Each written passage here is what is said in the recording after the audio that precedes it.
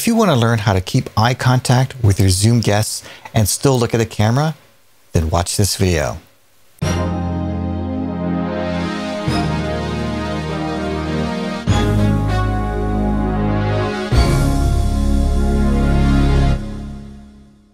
Hi, Gary Cruz with AmazeStudios.com here.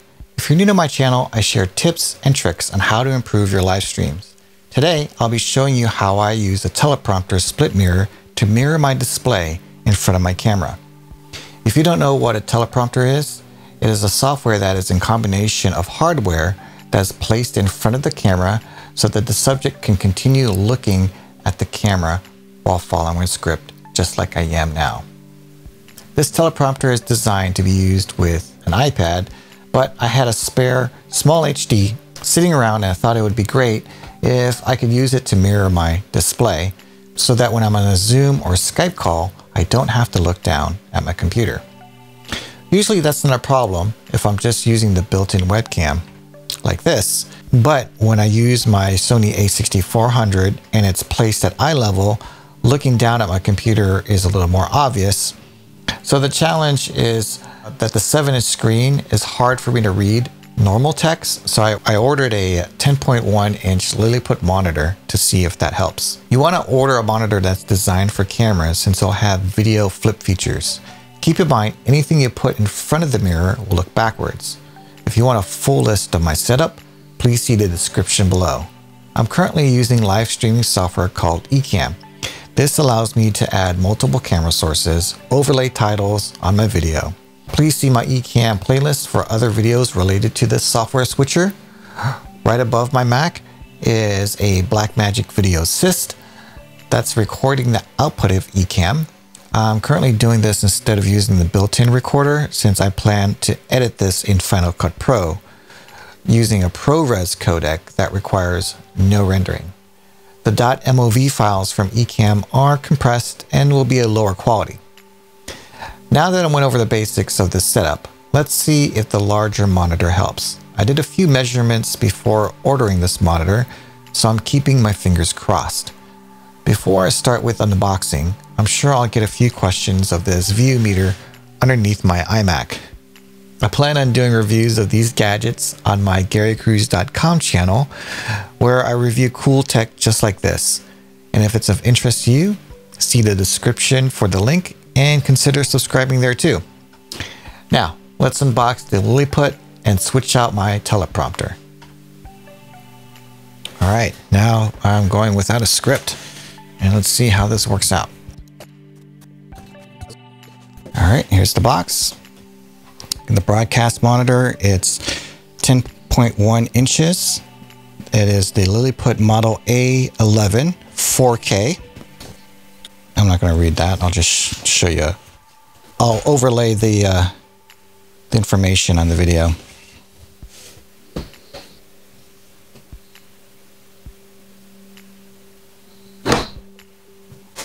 Nicely packed so far. We've got uh, some foam.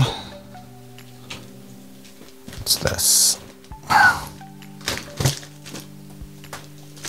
Oh, it's the monitor itself. Okay, so it's a little lighter than I thought. So here's the monitor. On the bottom, we've got HDMI in and then HDMI out. We have an upgrade via USB, a VGA, and then SDI in and SDI out. What's cool is that these are also pass-throughs. So if you put an SDI in, you'll get the SDI out. All right, let's see what else is in here got an instruction manual, and this is the 12 volt and 2 uh, milli, 2000 milliamp or 2 amp power adapter. And it looks like it's the smaller 2.1 millimeter compared to the 2.5 millimeter on the Blackmagic Video Assist, which is very annoying. And this looks like it is a battery plate that goes on the back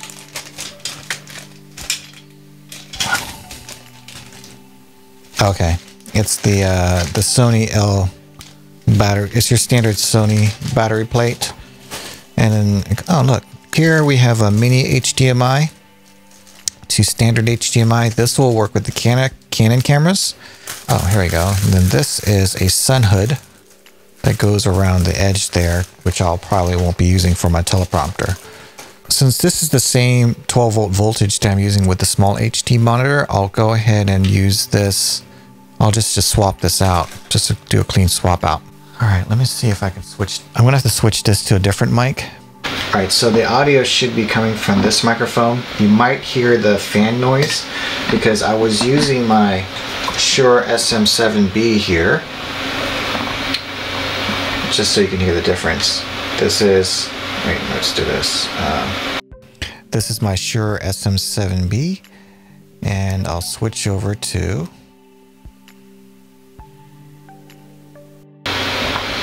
the Rode microphone that is on top of my little monitor. Ideally, I should have it on a boom arm that is just slightly out of reach from my camera and closer to my lips, but we'll have to see how it does. Alright, let's go ahead and put this monitor here. And like I said before, there's a mirror here, which is mirroring this, and this is typically used for a teleprompter, which you saw earlier. Let's turn this off. And I've got my HDMI port.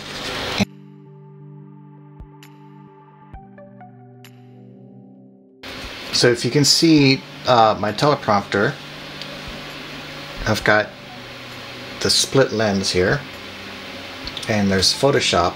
If I hide Photoshop,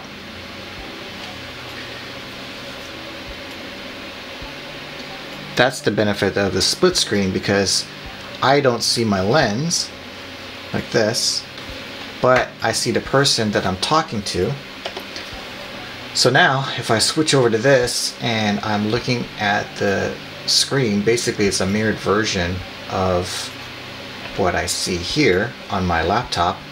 Then now when I'm talking to the person or when the person is talking to me, they're looking straight at me versus me looking down at my laptop screen and then my Sony a6400 is getting the tops of my eyes and my big forehead. Alright, so that is the benefit of using a teleprompter with my Mac and an external screen and then I have my Blackmagic Video Assist recording the output and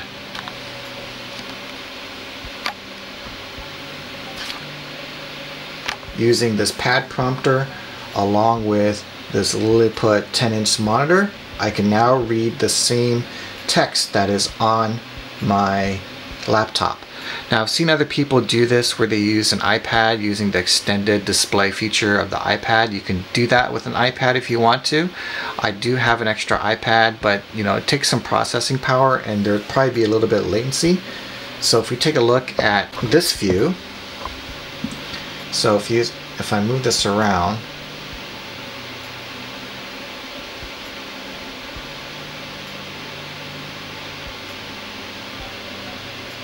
there's just a little bit of latency compared to there's a little bit of latency. On the iPad I can guarantee that it's going to be a little bit more. So since this is using HDMI to mirror the screen the latency will be imperceptible and if I switch over to this view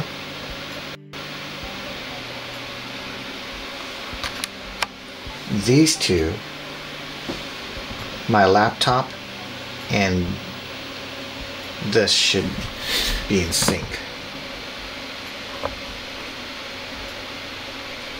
And it looks like they are pretty much in sync. Okay.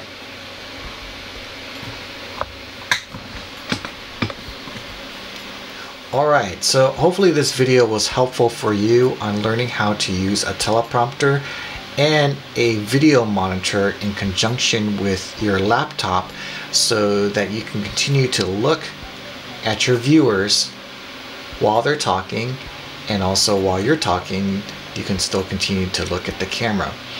If this tips uh, if these tips were helpful for you definitely consider subscribing to my channel. I cover again um, tips on live streaming and video technology in general and I'll be posting more tips on Ecamm. In fact, I just got my ATEM, I had my ATEM Mini Pro. I'm going to start testing that with the Ecamm and along with some other tests that I haven't seen other people do related to latency.